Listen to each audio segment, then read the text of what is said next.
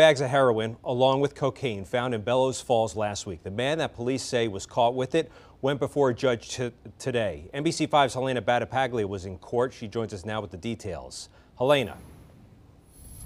That's right. According to court documents, the 34-year-old Rockingham man has a history of selling heroin in the Bellows Falls area. Police telling me tonight an anonymous source tipped them off this time.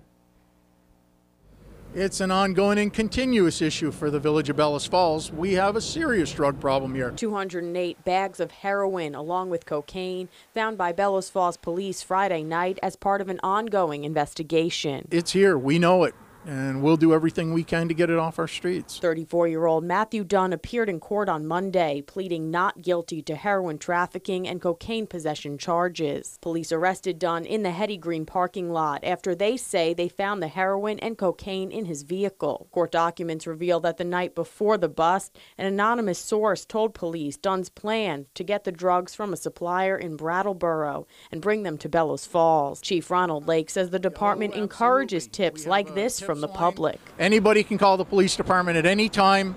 Anybody can give us information. All we want's the information.